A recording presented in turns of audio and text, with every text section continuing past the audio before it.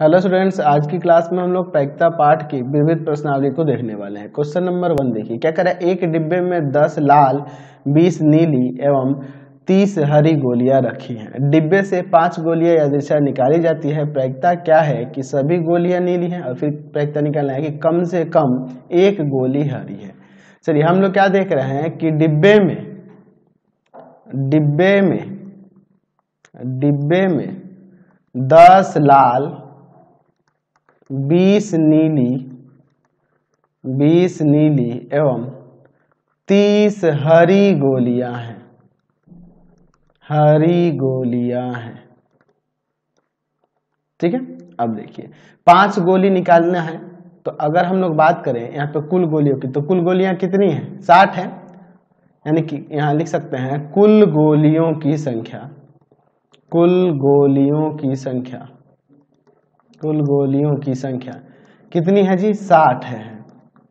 साठ है। तो साठ गोलियों में से, साठ गोलियों में से, पाँच गोलियाँ निकालने निकालने का तरीका क्या हो जाएगा? तो हो जाएगा यहाँ पर साठ सी फाइव। है ना जी? अब पहले नंबर के लिए देखिए।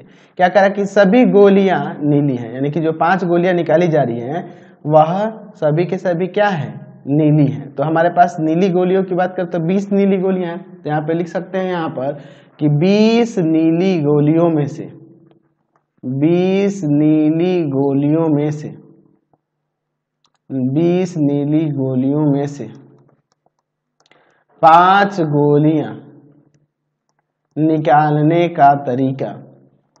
निकालने का तरीका। क्या हो जाएगा यहाँ पर?